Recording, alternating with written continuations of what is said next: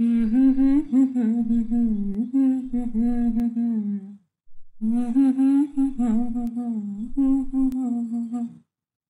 और मेरी तन्हाई अक्सर ये बातें करते हैं। तुम होते तो कैसा होता? तुम ये कहते, तुम वो कहते। तुम इस बात पे हैरान होते। तुम उस बात पे कितने हँसते। तुम होते तो ऐसा होता। तुम होते तो वैसा होता। मैं और मेरी तन्हाई अक्सर ये बातें करते हैं। मैं रेखा। जमाने ने मुझे जी भर के प्यार दिया। लेकिन इस रेखा को जिस प्यार की तलाश थी, वो तलाश कभी पूरी हुई ही नहीं। कई लोग आए, कई लोग गए। लेकिन उनमें से एक वो खास थे और हमेशा रहेंगे।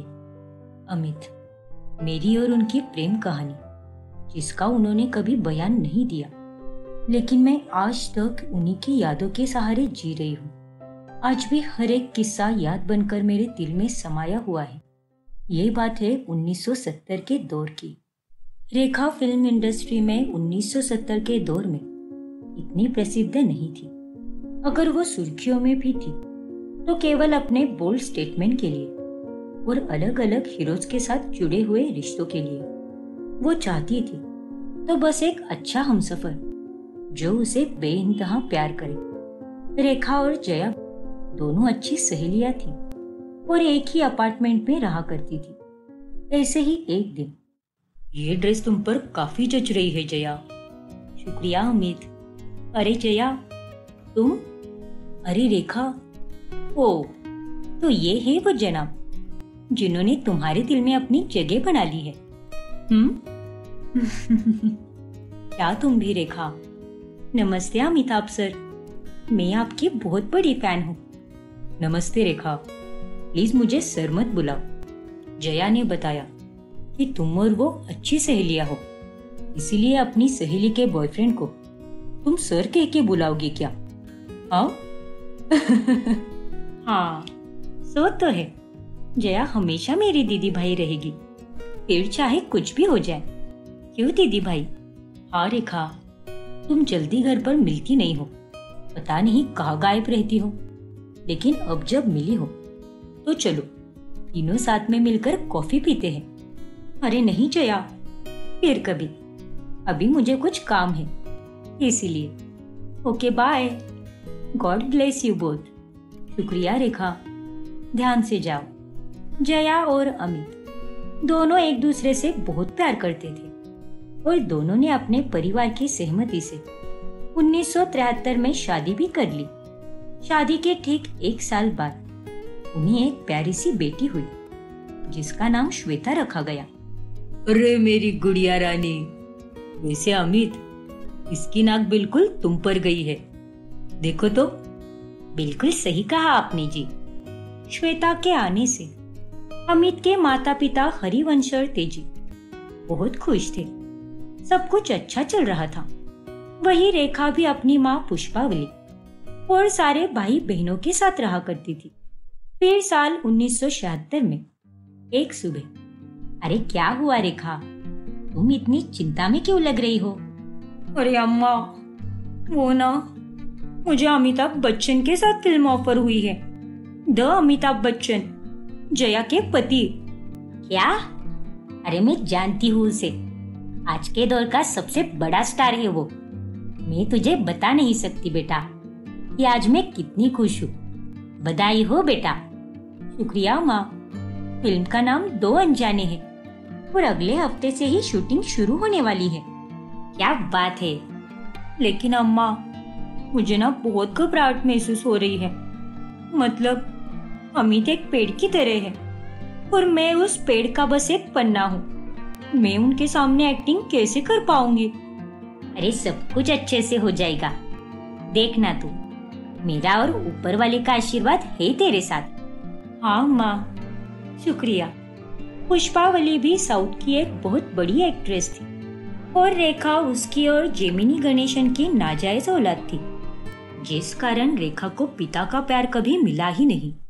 ऐसे ही एक हफ़्ता बीत जाता है और रेखा और अमित दोनों एक दूसरे को दो अनजाने के सेट पर मिलते हैं। शूटिंग होती है। और इस बीच में उन दोनों को एक दूसरे के प्रति एक अलग सा महसूस होने लगता है। आउच अरे क्या हुआ रेखा? तुम ठीक तो हो ना? हाँ अमित। कुछ दिनों पहले मुझे इसी हाथ पर हल्की सी चोट लगी थी और अब वापस वहीं पर ठेस लग गई। क्या तुम भी रेखा? जरा ध्यान दिया करो ना। हाँ अमित। वैसे जया कैसी है? अब तो वह दूसरी बार माँ बनने वाली है ना? हाँ रेखा। वो ठीक है। अब बस कुछ ही महीनों की बात है। फिर हमारी दूसरी संतान इस दुनिया में आ जाएगी। लेकिन काफ़ी टाइम हो गया है। तुम उससे मिलने क्यों नहीं आई? मैं भी अपनी ज़िंदगी में थोड़ी उलझी हुई थी। वैसे मैंने उससे बात की थी बीच में, पर अब उससे मिलने भी वाली हूँ। चलो अच्छा है। तुमसे मिलके उसे और अच्छा लगेगा। आखिर तुम दोनों की पुरानी दोस्ती जो ठहरी। हाँ अमित, वो तो है।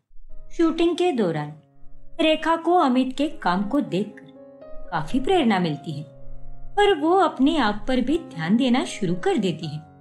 अपनी सेहत, अपनी सुंदरता और अपने काम को वो काफ़ी बेहतरीन तरीके से ठीक करती है। वक्त के साथ साथ अब रेखा और अमित दोनों के दिलों के तार जुड़ने लगते हैं और ऐसे ही एक दिन, lights, camera and action Rekha, मैं तुमसे बहुत प्यार करता हूँ। क्या तुम मुझसे प्यार करती हो? हाँ अमित मैं भी तुमसे बहुत प्यार करती हूँ। ना जाने ये प्यार कैसे और कब और क्यों हुआ। लेकिन अब जो भी हो, बस तुम ही हो।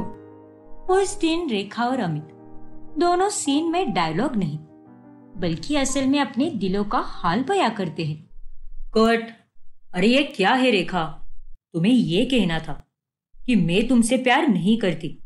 लेकिन तुमने कुछ और ही कह दिया। ऐसा क्यों किया तुमने? और तुम्हारा ध्यान कहाँ पर है? ओ नो मुझे माफ़ कर दीजिए, सर। लेकिन अगले टेक में मैं ध्यान दूँगी। और ऐसी गलती कभी नहीं होगी। फिर उस दिन शूटिंग के बाद रेखा तुमने आज जो सीन में गलती से कहा, वो सच में तुमने गलती से कहा, या वो बात तुम्हारे दिल से निकली थी? तुम सच सुनना चाहते हो, अमित?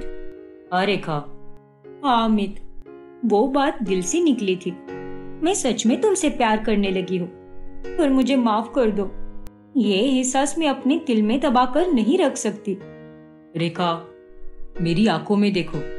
सच कहूँ तो जो बात मैंने भी सीन करते वक्त कही थी, वो बात भी मेरे दिल से ही निकली थी। क्या? हाँ रेखा आई लव यू और मैं भी तुमसे प्यार करने लगा हूँ। लेकिन अमित, तुम जया के पति हो। दो बच्चे के बाप बनने वाले हो। और शादीशुदा होने के बावजूद भी। नहीं नहीं, ये झूठ है। और तुम झूठ बोल रहे हो।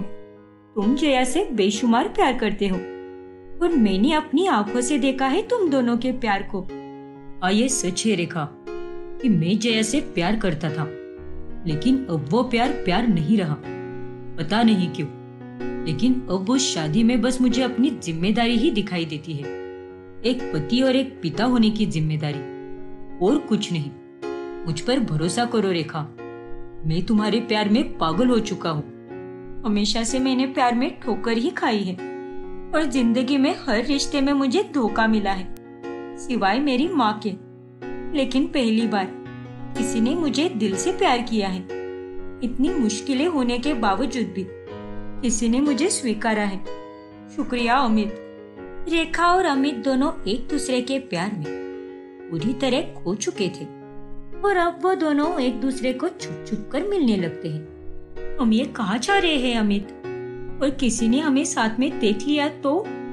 नहीं, रेखा, घबराओ मत। कोई भी हमें देख नहीं पाएगा, क्योंकि ये मेरे करीबी दोस्त का बंगला है। और अब से हम यही मिला करेंगे। ठीक है अमित जैसा तुम कहो। वक्त बीतता गया और उन दोनों का प्यार और गहरा होते गया।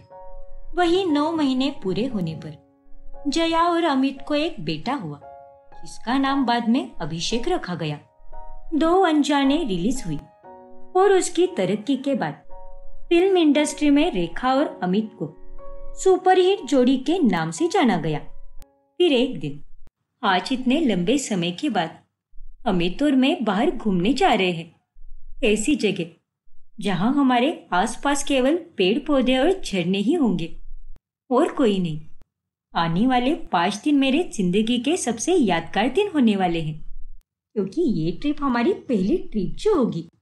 लेकिन लेट होने पर, जब रेखा अमित को कॉल करती है, तभी, शुक्र है तुमने फ़ोन उठा लिया।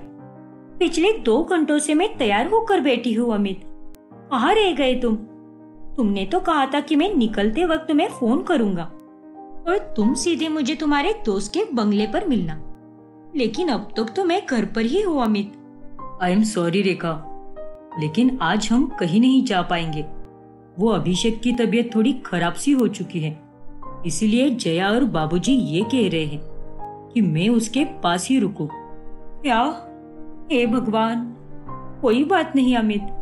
तुम तुम अभिषेक का ध्यान रखो क्योंकि इस वक्त तुम्हारा उसके पास होना बहुत ज़रूरी है। हाँ रेखा तुमने सही कहा और मेरी मुश्किल को समझने के लिए शुक्रिया रेखा। ओफो अमित क्या तुम भी? लेकिन कॉल कट करने के बाद रेखा की आँखों से आँसू बहने लगते हैं। कितने अरमान सजाए थे मैंने हर बार हमें चुप चुप कर। डर डर कर मिलना पड़ता है। खुलकर बातें करने वाली थी मैं। हम एक साथ खाना खाते, गाना गाते। मैं एक बीबी की तरह तुम्हें सुबह उठाती और तुम्हें चाय देती। क्या आलम होता वो। अगर हम पाँच दिनों के लिए वहाँ जाते, खैर, आज नहीं तो कल से ही। मुझे ये बात समझनी ही होगी। वो अब दो बच्चों का पिता है और उसका अपना एक परिवार भी है। रेखा ने खुद को समझाया और खुद ही अपने आँसू पोछने लगी। फिर कुछ दिनों बाद अचानक से उन दोनों के छुपकर मिलने की खबरें सुर्खियाँ बटोरने लगी और सभी लोग ये सोचने लगे कि अमित और रेखा दोनों का अफेयर शुरू हो चुका है और ये सब जब अमित के घर वालों ने पढ़ा, तभी ये सब क्या है अमित? अखबार में साफ़ साफ़ लिखा गया है कि कुछ मीडिया रिपोर्टर्स ने तुम्हें और रेखा को छुपकर मिलते हुए देखा है।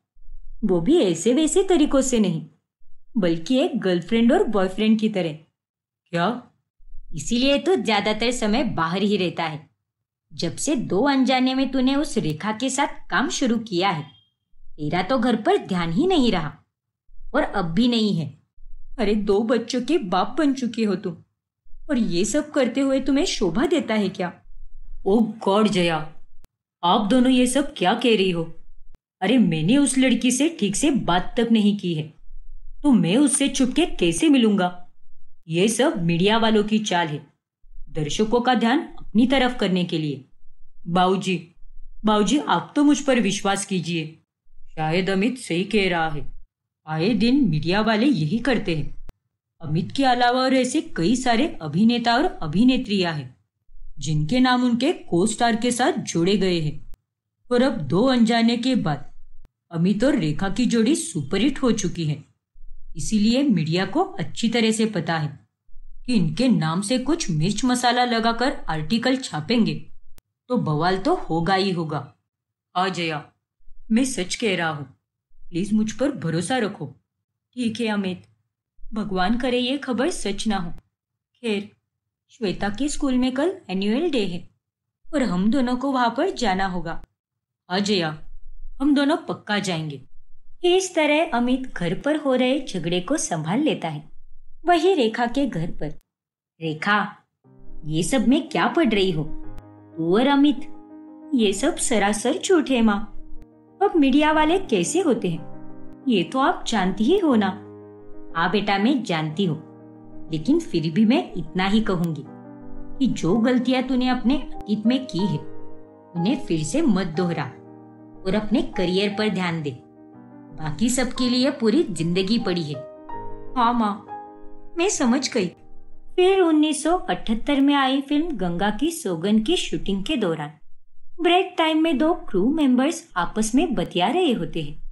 अरे तू बिल्कुल सही कह रहा है। ये रेखा तो अमित के साथ काम करने के बाद ही हिट हुई है और अब उसका सहारा लेकर आगे जा रही है। वही तो उसे बाकी आदमियों की तरह ही अपने प्यार के जाल में फंसाएगी वो। बस सबका घर तोड़ने में माहिर है। बेशरम कही के अरे आज की तारीख में वो अमित के बिना कुछ भी नहीं है। लेकिन उनकी ये सारी बातें अमित सुन लेता है और उसे हद से ज़्यादा गुस्सा आ जाता है। तुम दोनों की इतनी हिम्मत ने रेखा के बारे में ये सब कहा भी कैसे?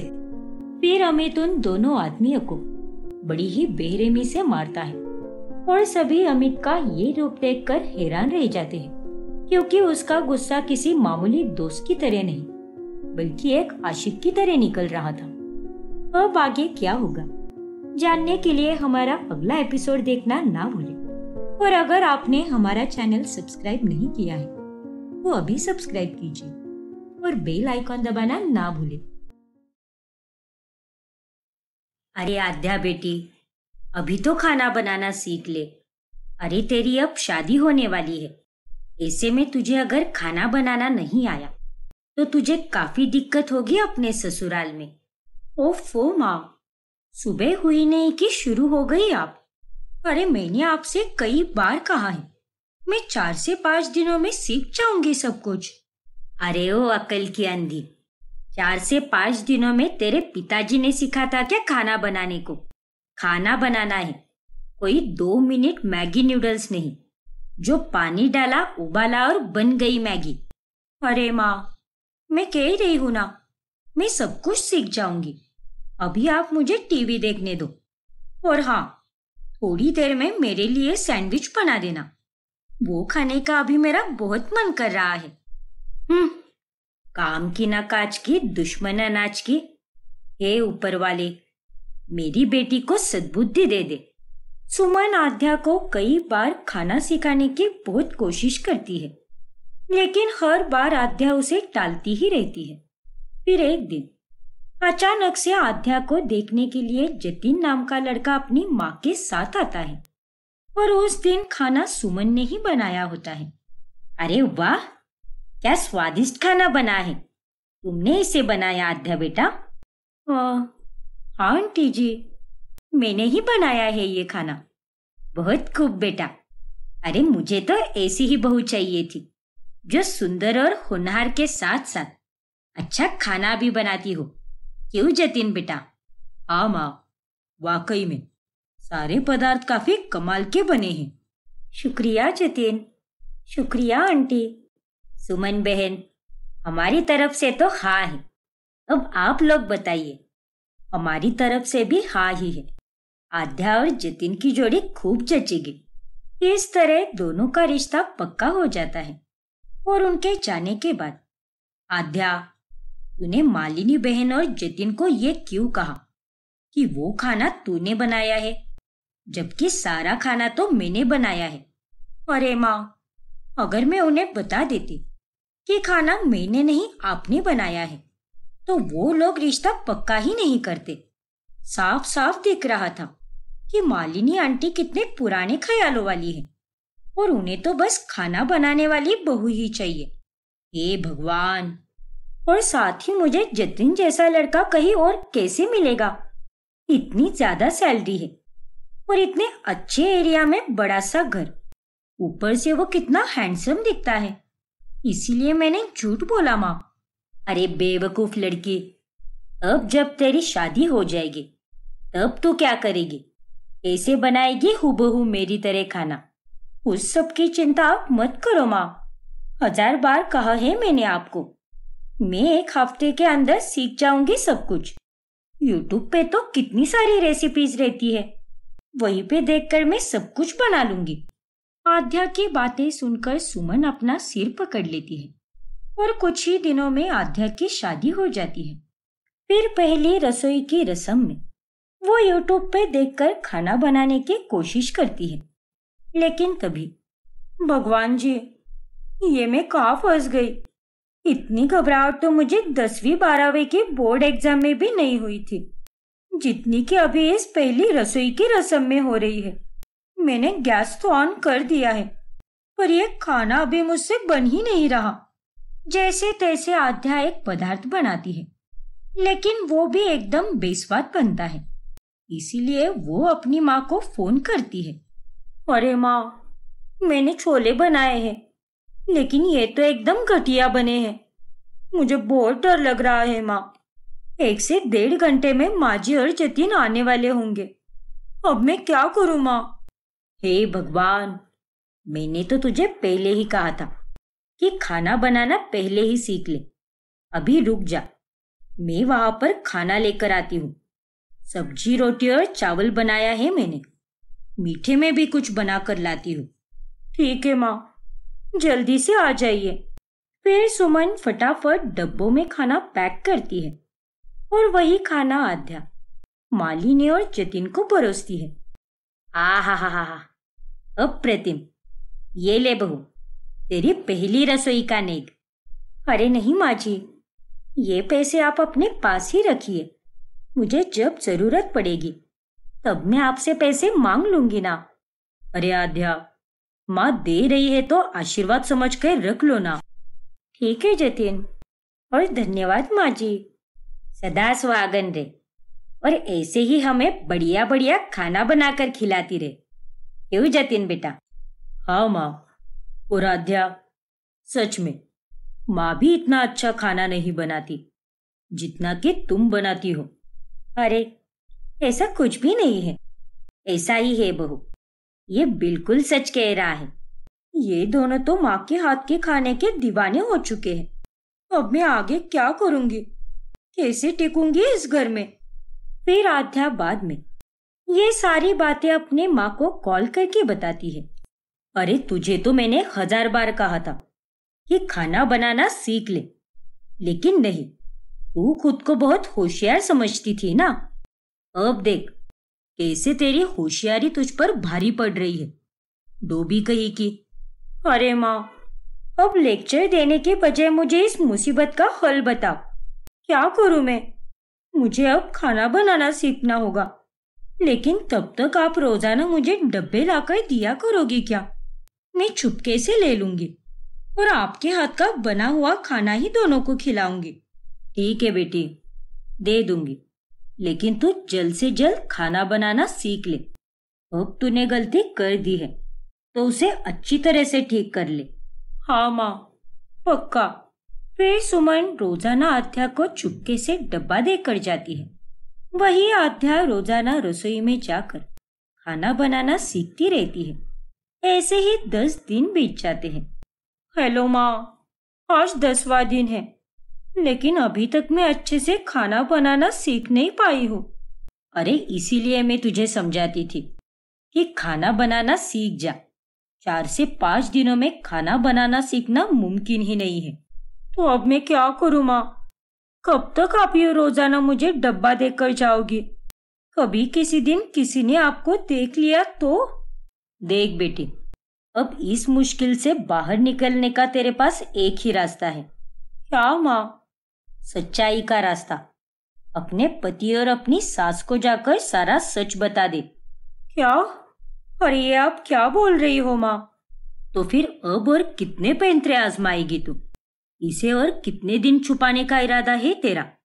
देख बेटी, तुझे खाना बनाना सीखने के लिए बहुत वक्त लगेगा। इसीलिए आज तुझे सच तो बोलना ही होगा। और इसी में तेरी भलाई है। फिर ना चाहते हुए आध्या, अपनी माँ की बात मानकर। आखिरकार जतिन और मालिनी को ये सारी सच्चाई बता ही देती है कि उसे खाना बनाना नहीं आता। और दस दिनों तक उन्होंने सुमन के हाथ का खाना खाया है। क्या? इतना बड़ा झूठ? और इन सब में तेरी माँ भी शामिल थी? नहीं माँ जी माँ तो हमेशा ही इन सब के खिलाफ थी। और तो और जब आप दोनों रिश्ता पक्का करके गए थे, तब भी उन्होंने मुझे डांटा था कि आखिर मैंने झूठ क्यों बोला? और आज उनके कहने पर ही मैं आप दोनों को सच बता रही हूँ। मुझे कैसे भी करके इस घर की बहू बनना था। इसीलिए मैंने झूठ बोला माँ जी देखो आद्या तुम अच्छी तरह से जानती हो कि माँ की उम्र हो चुकी है। और वो अब रसोई में जाकर घंटों तक खड़े रहकर खाना नहीं बना सकती। अरे, तुम्हें तो शादी से पहले सारा खाना बनाना सीख लेना चाहिए था। और नहीं तो क्या? ये तूने अच्छा नहीं किया बहू। अरे, तूने तो मुझे और मेरे बेटे को फंसाया है। लानत है तुझ पर। तुझे खाना बनाना नहीं आता। अरे, जब एक बहू खाना ही नहीं बना सकती तो वो अपनी घर गृहस्थी को क्या खाक संभाल पाएगी क्या? हाँ माफ़ करना माँ जी लेकिन मैं खाना बनाना सीख ही रही हूँ रोज़ाना, और धीरे धीरे ही सही। लेकिन एक दिन मैं अच्छा खाना बनाना ज़रूर सीखूँगी। मेरे खाने का स्वाद भले ही थोड़ा ऊपर नीचे होता है, पर मैं खाना खाने लायक बनाती हूँ माँ जी अरे, अब तो चाह कर भी मैं तुझे अपने बेटे की ज़िंदगी से नहीं निकाल सकती। क्योंकि अगर हमने ऐसा किया तो समाज में हमारी क्या इज़्ज़त रह जाएगी? अगर मेरा बस चलता ना तो तुझे अभी इसी वक्त में घर से निकाल देती। कोई बात नहीं माँ। अब जो हुआ, सो हुआ। मैं एक काम करता हूँ। खाना बनाने के लिए एक नौकरानी रख लेता हूँ। वही बेहतर रहेगा। अरे नहीं नहीं। नौकरानी वगैरह रखने की कोई ज़रूरत नहीं है। फालतू में उसके पीछे खर्च क्यों कर रहे हो? एक काम करो। उतने ही पैसे तुम मुझे दे दिया करो। मैं कह रही हूँ ना, कुछ ही दिनों में मैं खाना बनाना सीख जाऊँगी। मुझ पर विश्वास रखो। लेकिन आध्या रहने दे बेटा। जब ये कह रही है तो देख ही लेते हैं। लेकिन एक महीना बीतने के बाद भी आध्या ठीक से खाना बनाना सीख ही नहीं पाती। और अब वही उसके हाथ का फीके स्वाद वाला खाना खा खाकर मालिनी और जतिन बहुत परेशान हो जाते हैं। एक महीना बीत चुका है, लेकिन अभी तक इसने ठीक से खाना बनाना सीखा नहीं है। अरे ये कैसी बात कर रही हो माँ जी मैं रोज़ाना इतनी मेहनत करके सीखती हूँ। अरे कुछ भी नहीं सीखती तुम, आद्या। बस जाकर कुछ भी बनाकर चली आती हो। तुमने बस हमें दिलासा दिया है कि तुम एक ना एक दिन खाना बनाना सीखकर हमें स्वादिष्ट खाना दोगी। लेकिन वो सब तो तब होगा ना, जब तुम सच्चे दिल से कुछ सीखोगी। ना जाने वह कौन सी मनहूस घड़ी थी। जब मैंने अपने जतिन का रिश्ता इस मनहूस लड़की के साथ पक्का किया। हम्म आद्या को उन दोनों की बातों का कोई फ़र्क नहीं पड़ता, क्योंकि उसे अब पता था कि ये दोनों उसे चाहकर भी घर से नहीं निकाल पाएँगे। दूसरी तरफ़ जतिन के ऑफ़िस में प्रेरणा नाम की एक काली लड़की काम किया करती है। एक दिन, ऐसे ही वो उसके टिफ़िन में लाया हुआ खाना खा लेता है और वो जतिन को बहुत पसंद आता है। ओहो क्या खाना बना है यार? मज़ा ही आ गया। प्रेरणा, मुझे पता नहीं था कि तुम इतना बढ़िया खाना बनाती हो। शुक्रिया जतिन। खाओ ना, और लो, शर्माओ मत। मैं सुबह सुबह भरपेट नाश्ता करके आई हूँ। इसीलिए मुझे अभी इतनी भूख भी नहीं है। शुक्रिया, प्रेरणा। अब रोज़ाना जतिन। प्रेरणा के टिफ़िन में से थोड़ा थोड़ा खाना खाता रहता है और इसी बहाने उन दोनों की दोस्ती और बढ़ जाती है। अरे, मेरी बेबी तो बहुत ही बेस्वाद खाना बनाती है। इसीलिए मुझे घर पर कुछ भी खाने का मन ही नहीं करता। प्रेरणा, वैसे तुम्हें कोई एतराज़ ना हो। तो क्या तुम मेरे लिए कल से अलग टिफ़िन लेकर आया करोगी क्या? मैं तुम्हें पैसे दे दूँगा। पर प्लीज़ यार, मेरे लिए लाओ ना टिफ़िन। तुम्हारे हाथ का बना हुआ खाना किसी अमृत से कम नहीं है। अरे पागल वागल हो गए हो क्या जतिन? मैं तुमसे एक रुपया भी नहीं लूँगी, क्योंकि मैं तुम्हारी दोस्त हूँ। और दोस्तों के लिए इतना तो कर ही सकते हैं ना। तुम फ़िक्र मत करो। कल से मैं तुम्हारे लिए एक और टिफ़िन लाया करूँगी। तुम्हारा बहुत बहुत शुक्रिया, प्रेरणा। चलो, मेरी खाने की चिंता तो मिट गई। फिर उस दिन के बाद से प्रेरणा अब रोज़ाना जतिन के लिए टिफ़िन लाया करती है और वो दोनों अपने लंच ब्रेक में एक साथ खाना खाकर खूब अच्छा समय बिताते हैं। फिर एक रात, अरे आध्या आज क्या बनाया है तुमने खाने में? आज तो मैंने मटर पुलाव बनाया है, जतिन। जो एकदम बुरे बने हैं। बिल्कुल भी मत खा इसे, बेटा, वरना तेरी तबीयत भी खराब हो जाएगी। जिसे खाना है, खाए, और जिसे नहीं खाना, वो ना खाए। मुझे उससे कोई फ़र्क नहीं पड़ता। इतना बोलकर आध्या वहाँ से चली जाती है। फिर थोड़ी देर बाद में अचानक से जतिन का फ़ोन बजता है। प्रेरणा, ये कौन है? अरे किसका फ़ोन है आध्या इधर दिखाओ फ़ोन। हेलो? हाँ प्रेरणा। बस आ रहा हूँ मैं। हाँ हाँ हाँ। ठीक है। फिर जतिन तैयार होकर चला जाता है। अब ये प्रेरणा कौन है? कुछ तो गड़बड़ है। इसका फ़ोन आते ही जतिन का चेहरा एकदम चमक उठा था मुझे इसका पीछा करना होगा, वरना मुझे कुछ भी पता नहीं चलेगा। फिर आध्या जतिन का पीछा करती है। और वो जतिन को प्रेरणा के घर पर जाते हुए देखती है। ये जतिन किसके घर में गया है? कौन है ये प्रेरणा? और क्या है इन दोनों का रिश्ता? मुझे खिड़की के पास जाकर देखना होगा। फिर आध्या खिड़की के पास जाती है और वो देखती है कि जतिन और प्रेरणा एक साथ बैठकर खाना खा रहे हैं। और ये देखकर आध्या एकदम हैरान रह जाती है। अब आगे क्या होगा? जानने के लिए हमारा अगला भाग देखना ना भूलें। और अगर आपने हमारा चैनल सब्सक्राइब नहीं किया है तो अभी सब्सक्राइब कीजिए और बेल आइकॉन दबाना ना भूलें। ये कहानी है मुंबई शहर के एक जानी माने बिज़नेस टाइकून विराज की, जो ज़िंदगी में सिर्फ़ अपनी दादी और अपने काम से ही प्यार करता है। विराज बेटा, आ गया तू। चल अब जल्दी से हाथ मुँह धोकर बैठ जा। और किशोर, जल्दी से खाना भी लगा दे। विराज बेटा, मैंने तुम्हारे फेवरेट राजमा चावल बनाए हैं। तुम्हें पहाड़ी राजमा बहुत पसंद है ना? इसीलिए मैंने खास हिमाचल से मंगवाए हैं। दादी इनसे कह दीजिए कि मुझसे बात ना करे और ना ही मेरे लिए कुछ करे। ये चाहे लाख कोशिशें क्यों ना कर ले। लेकिन मेरे दिल में जगह कभी नहीं बना पाएगी। ना ही इनके सो कॉल्ड हस्बैंड मैं किशोर भैया और बिंदिया के हाथ का बना ही खाना खाऊँगा। अरे पर बेटा, इतना कहकर विराज फ्रेश होने के लिए अपने कमरे की ओर चला जाता है। तभी उसकी सौतेली माँ मालिनी और पिता सुरेंद्र कहते हैं, सुरेंद्र, मम्मी जी, कब तक ये ऐसे ही रहेगा? इतने साल हो गए हैं। लेकिन इसने तो मेरा आज तक स्वीकार नहीं किया है। एक गुस्सा होना और गमन दिखाना हमें भी आता है। लेकिन यहाँ तो छोटे ही बड़ों को तेवर दिखा रहे हैं।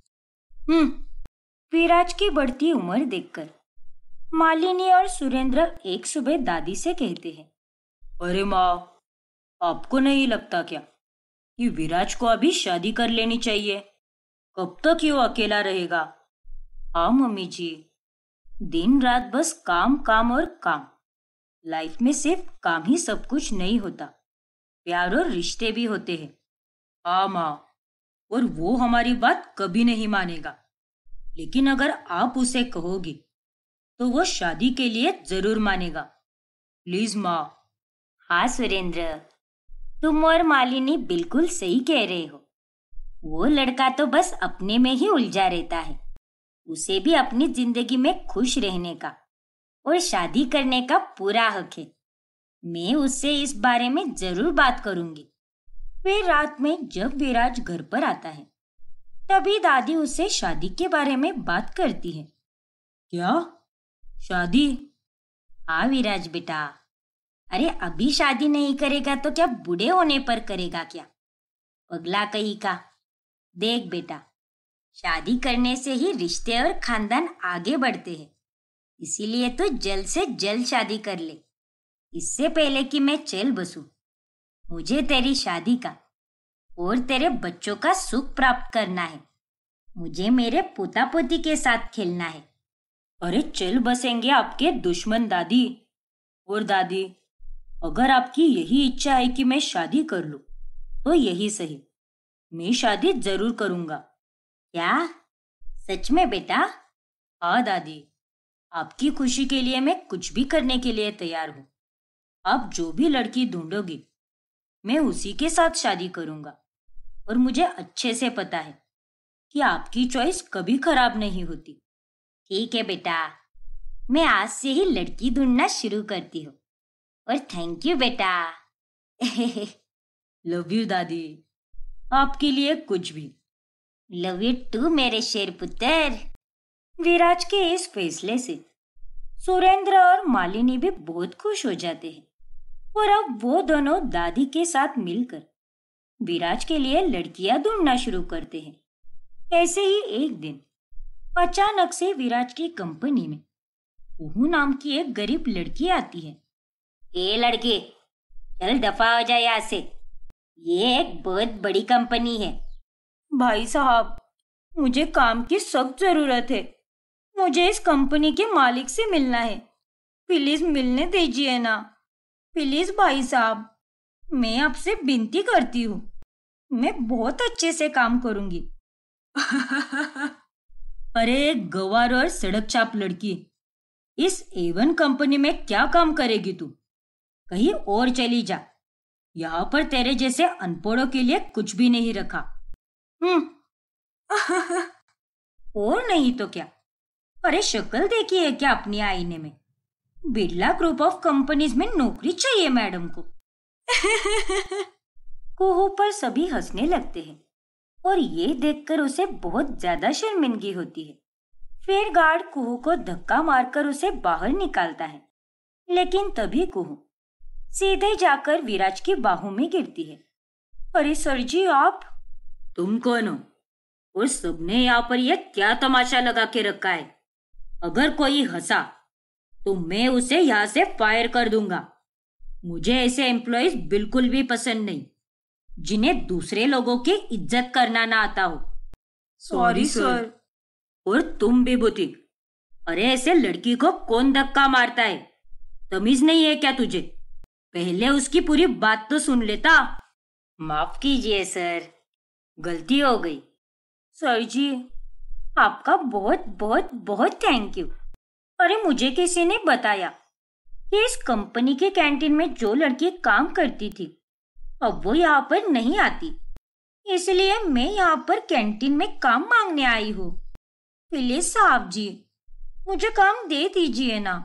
मेरी माँ को दिल की बीमारी है और डॉक्टर ने कहा है कि वो कुछ महीनों तक ही रोक सकते हैं इलाज के लिए, वरना उसके बाद माँ की जान खतरे में भी जा सकती है।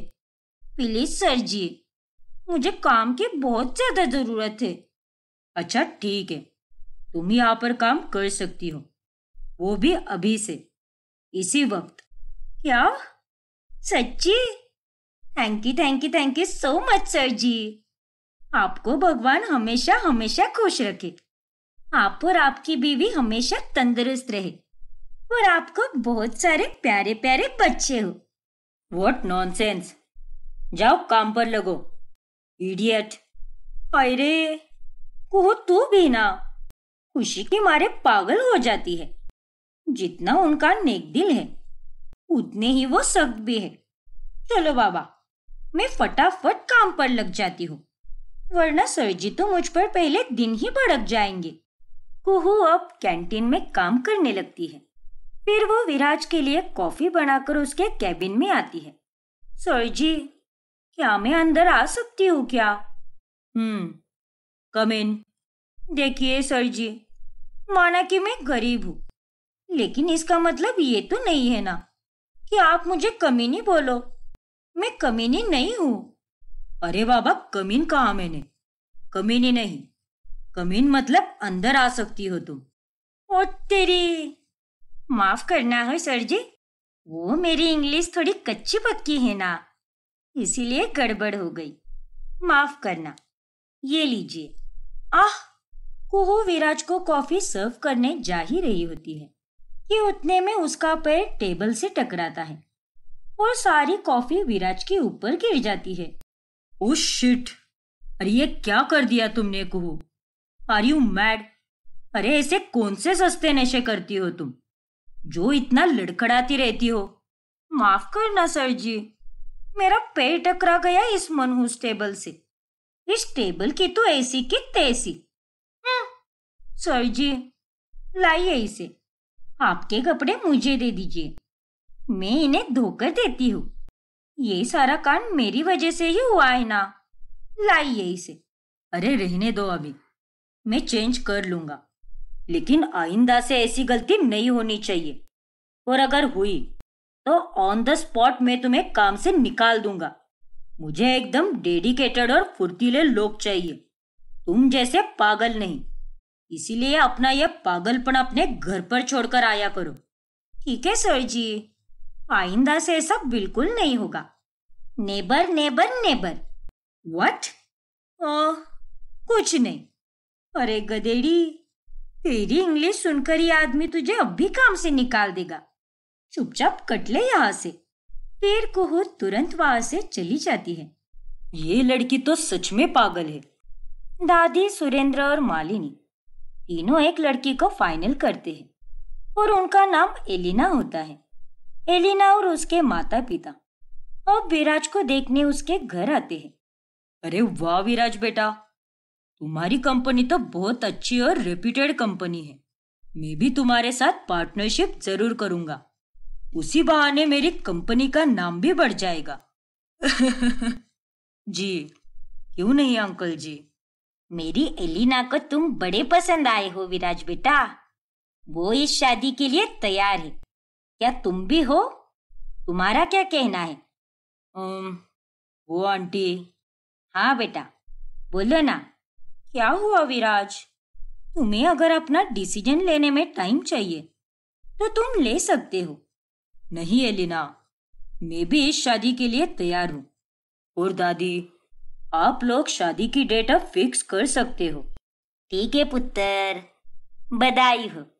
मैं कल ही पंडित जी को बुलाती हूँ और एक अच्छा सा मुहूर्त निकलवाती हूँ। Thank you Viraj. मुझे अपनी वाइफ के तौर पर चुनने के लिए। यू आर वेलकम एलिना अरे विराज बेटा तुम और एलिना एक दूसरे से अकेले में बातें कर सकते हो। शर्माओ मत। अरे नहीं आंटी। अभी मुझे एक अर्जेंट मीटिंग अटेंड करनी है तो मुझे निकलना चाहिए। हम फिर कभी बात करेंगे। लेकिन बेटा कोई बात नहीं मॉम। चलता है। विराज अब मेरा फ़ैन से बन चुका है। इससे बड़ी बात और मेरे लिए क्या हो सकती है? और विराज हम दोनों तुम्हारे फ्री होने पर मिलेंगे। तुम अभी जा सकते हो। फिर विराज आधी में ही उठकर चला जाता है और फिर एक रात अचानक से तेज बारिश शुरू होती है और ऐसे में कुहू घर ही नहीं जा पाती और वो बारिश में भीग रही होती है। हाय राम! इस बारिश को भी आज ही आना था क्या? मुझे घर पर जल्द से जल्द पहुँचना है, वरना माँ को दवाई देने में देर हो जाएगी। वो घर पर अकेली जो ठहरी। अरे, ये तो कुहू है। कुहू, तुम यहाँ पर क्या कर रही हो? अभी तक घर नहीं गई क्या? ऐसे बारिश में भीगने के मज़े मत लो। बहुत भारी पड़ेगा तुम पर। अबे ओए उल्लू के पट्टे। ओ तेरी, सारी सारी सरजी मैं ऑफ़िस के बाहर निकलते ही भूल गई कि आप मेरे सरजी हो। हाय मैं भी क्या बकवास कर रही हूँ। सारी सर जी। बहुत बहुत बहुत सारी। क्या? अरे तुम क्या पागल खाने से छुट्टी हो क्या? जब देखो तब तो कुछ भी बोलती रहती हो। अरे सर जी, वो मैं यहाँ पर फंस गई हूँ।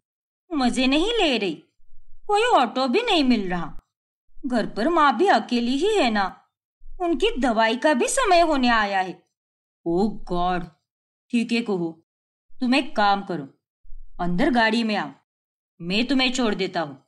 क्या? अरे नहीं सर जी। मैं पूरी भीग चुकी हूँ। तो फिर मैं कैसे आपकी इस चमचमाती हुई गाड़ी में आ सकती हूँ? ना बाबा ना।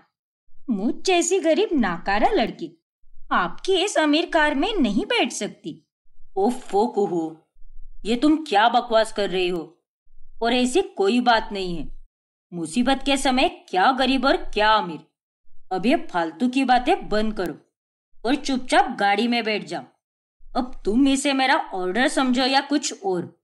आई डोंट केयर लेकिन सर जी आई सेड बैठो। ठीक है।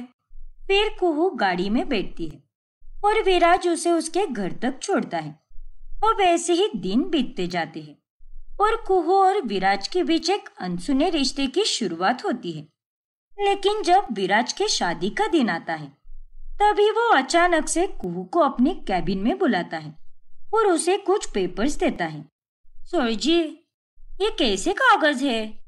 ये कॉन्ट्रैक्ट मैरिज के पेपर से कुहू। इन पर साइन करो। कॉन्ट्रैक्ट मैरिज ये कागज़ किसी बाहर वाले को देने हैं क्या?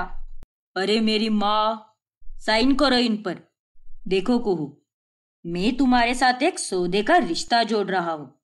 तुम्हें पैसों की ज़रूरत है ना? हाँ सर जी। मुझे मेरी बीमार माँ का इलाज कराना है।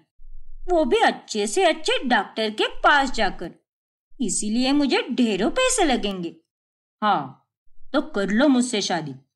ये शादी सिर्फ़ पाँच महीनों की ही होगी, जिसके बदले में तुम्हें पूरे पाँच लाख रुपए दूँगा। अब बताओ, मंजूर है तुम्हें? क्या? आपसे शादी? लेकिन आपकी शादी तो आज है ना। वो भी किसी और के साथ। तुम उन सब की फ़िक्र मत करो। पर सर जी, आप तो कितने अमीर हो। और ऊपर से हैंडसम भी। पूरे शहर की लड़की आपकी दीवानी है। फिर आप मुझ जैसी गरीब लड़की के साथ शादी क्यों करना चाहते हो? देखो कुहू, तुम्हें सवाल जवाब करने हैं या पैसे चाहिए? जल्दी सोचो।